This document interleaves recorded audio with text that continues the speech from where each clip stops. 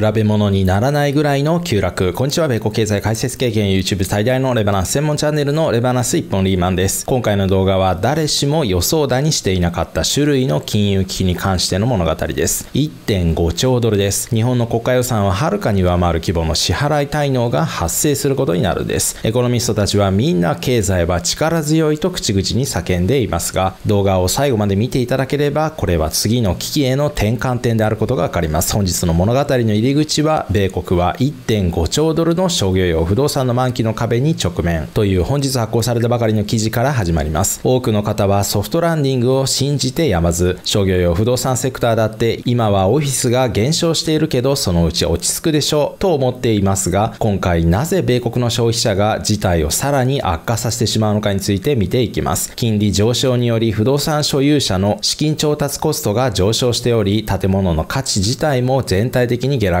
している。評価額の低下により所有者は多額の借り入れが難しくなり、多くの不動産所有者は新たな借り入れを確保したり、もしくは拡張したりして、自己資本を調達せざるを得ない状況になっている。ここで述べられていないのは、これまでたくさんの総合複合施設が建てられてきたということです。コロナショックの時に大量のマネーが市場にばらまかれ、多くのデベロッパーたちが銀行から楽に手に入ったマネーで、非常に数多くの複合施設を建設してきましたが、それらがが一斉にこれから完成するんです。もうすでにいくつかの複合商業施設が操業停止になっている中で、それでもそこに人を呼び込むために何をするのかというと、大幅な値引きをしないといけないんです。ここが問題なんです。金利も確かに問題です。これまで低金利で借りられてきた時代はもう終わって、今は高金利の時代ですので、これまでよりも膨大な額の返済をしないといけない。これはこれで事実ですが、今の商業用不動産セクターの問題はそんなシンプルではありません。問題は現在の消費者に需要が全くないということなんです。このチャートをご覧ください。これは青が銀行の貸し出し基準を左軸で赤は政策金利を右軸で表しています。通常金利や銀行についての物語を語るとき、低金利が問題を解決するなんてことはありえません。多くの人は9月の FOMC でやっと利下げだ。これで株価も爆上げだ。今のうちに個別株でも ETF でも何でもいいからレバレッジをかけて買っておけという無責任な YouTuber もいますが実際この考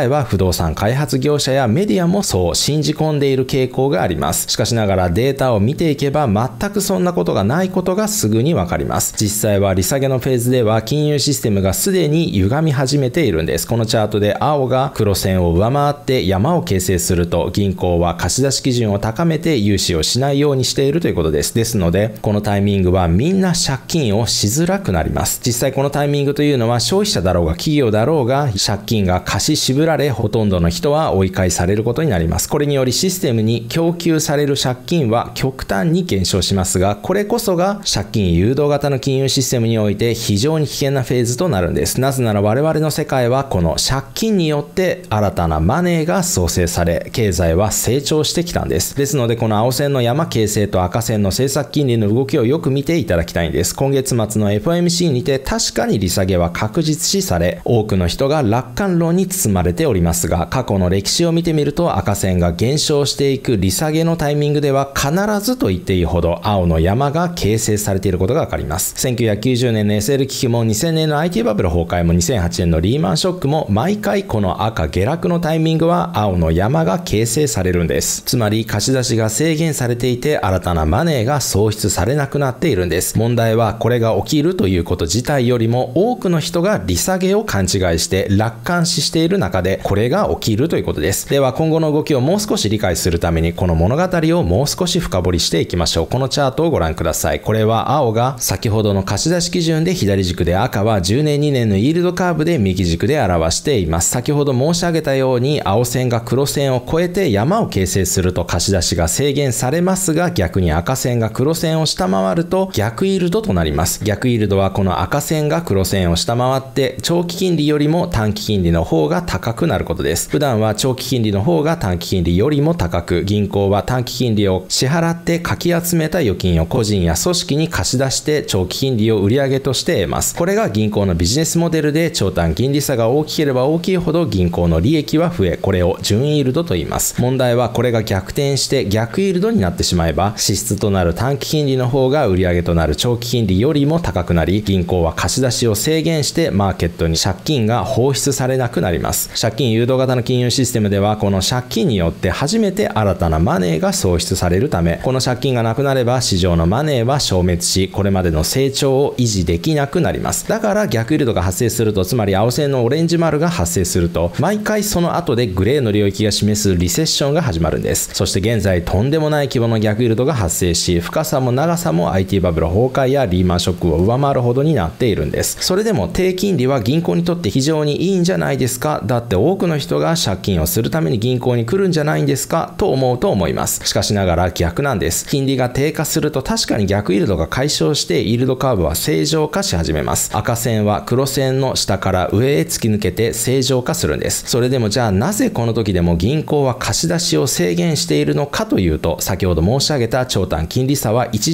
しくまだ低いんです。逆転するほどではないけど、ほんの少しくらい長期金利が短期金利を上回ったくらいじゃ、銀行はこれまで制限していた貸し出しを一一気に回復するわけがないんです。そもそも逆イールドによって銀行が融資を制限することでシステムに流入するマネーは一気に干からびます。借金が減少すれば新たなマネーの喪失も止まりますので、これにより経済はもうすでに極端に悪化し始めているんです。これにより銀行が貸していた融資も不良債権化する確率が高くなり、逆イールドが解消した直後でもそう簡単に銀行は融資をしないんです。だから逆イールド解消後もこの青線の山はまだまだ継続しているんです。ですので金利が低下して逆イールドが解消している時というのは、まだまだ銀行は貸し出しを制限しており、最もその亀裂が表面化しやすいんです。そのタイミングで2000年の IT バブル崩壊も2008年のリーマンショックも起きるんです。ですので、利下げによってなんとなく経済が回復すると多くの人が勘違いしていますが、そのタイミングはそれまでの歪みがしわ寄せとして表面化する傾向があるんです。ブローカーによると満期が迫っている物件の約40%を占める集合住宅が借り換えの波の中心となっている。米国の集合住宅の物件所有者の多くは金融緩和の時代に3年変動金利ローンを利用して物件を購入していた。それ以降の金利上昇で賃貸収入の大半が消え、追加の自己資本を確保することが困難になっている。これは全て FRB による失態が原因なんです。多くの人が金利は低いままだと信じていて、これにより経済はこのまま成長を維持できると思っていましたが、FRB の舵取りの失敗により高インフレが発生し、金利をこれまで考えられなかったスピードで上昇させ、多くの人や企業が混乱することになったんです。その結果の一つが、この不動産所有者たちで、金利が低いままであれば別に借り換えしようがしまいが、安定した賃貸収入により全てが問題なかったはずだったんです。だから何も気にせず金利が最も安い3年変動金利で莫大な融資を借り、これで食いつないでいく予定でした。しかしながら急速な利上げのせいで3年変動金利なんてピンポイントで急速に上昇し、多くの不動産所有者を奈落の底へ陥れてしまったんです。問題はそれらローンの満期がもうすぐそこまで迫っているという状況の中で、これを支払うマネーがもう底をついているということです。その満期に達する額の中で想定1.5兆ドルが支払い滞納になるんです。これは先ほど申し上げたようにとんでもない数のビルが完成し始めていますが、それらの需要がないことがすぐに判明し、価値が急落し、不動産所有者に入ってくる収入よりも支払い額の方がが上回ってしまうことになるからです。MSCI のデータによると保険料の上昇と資産価値の下落が痛みを増長し、米国の不動産の約950億ドル分がもうすでに不良資産に陥っているか、不良資産になるリスクがあるという、これは非常に危険な状況で、これから今月末の FOMC で利下げがあるといえど、銀行の貸し出し基準は依然として高いんです。だから不動産所有者たちはやっと利下げだとここまで限界を超えて本来なら破産申請してもおかしくはない状態なのに、これまで我慢比べをしてやっと我慢する必要がなくなったと安心して銀行は低金利のローンに借り換えようとしても銀行は全く貸してくれないんです。これが問題なんです。そして仮に100万歩譲ってごくわずかの不動産所有者たちは運が良くて借り換えができたとしても、ここから米国の消費者が無情にもこれらラッキーな不動産所有者たちをさらなる奈落の底へ突き落とすことになるという物語が待ち受けているんです。現在集合住宅の大部分がアンダーウォーター状態だ。アンダーウォーターというのは物件の市場価格が本来の価格を下回ることで、これは金融市場が大きなリスクに見舞われている時に起きるんです。資産価値の多くは失われているが、これは時間の経過とともに回復していく資産クラスだ。まだまだ市場取引は可能であり、資本注入だけが必要なのだ。ここでリズリエント、回復できると言っていますが、なぜこう言っているのかというと、これは単純に少なからずキャッシュフローがあるからです。しかしながらそのキャッシュフローが枯渇したらどうなるのでしょうか。そこがが問題であり、それがこれから起きることなんです。変動金利ローンの多くが800億ドルの商業用不動産担保ローン市場にまとめられ、債券として投資家に売却されているため、迫り来る債務の満期は、ウォール街にとって頭痛の種となっている。それでも投資家は商業用不動産市場の混乱が銀行にとってシステマチックな問題になるとは考えていない。これが問題で、市場の中で多くの投資家がこの不動産担保証券を大量に抱えていて、一番危険なのは彼ら投資家はこれに次元爆弾のタイマーがあることを理解していないんです。これがいかに危険なのかを全く理解していないこと自体が危険なんです。なぜならこれはそのうち満期を迎えることになれば支払い滞納が急増することになるからです。そして時間とともにこの支払い滞納は支払い不能、デフォルトとして処理されることになるんです。金利引き下げの見通しが明確になるにつれ CRE 市場全体で大規模な危機は回避できるだろうという楽観的な見方が広がっている。だからデータを皆さんだけにお見せしたんです。世界的な金融ジャーナルのブルームバーグでさえも利下げによって商業用不動産 CRE 市場の問題は消え去るという見方があると報道しているんです。でも皆さんだけはデータを見ることでそれらが誤った事実であることを唯一理解できたと思います。利下げは楽観視できる現象ではなく金融市場が引き締められ非常に危険な領域に突入するんです。債務借り換えの見積もりを提出する金融機関の数は今年平均で倍増しており現時点での借り換え金額は2000億ドルから4000億ドルだと指摘した。この額は現時点での額ですが来年末までに1.5兆ドル規模にまで達するんです。このチャートをご覧ください。これは青が不動産ローンの支払い滞納率で、赤は政策金利をどちらも左軸にて表しています。みんなが利下げで景気は良くなると思い込んでいますが、データはそうは言っていません。利下げをする局面では必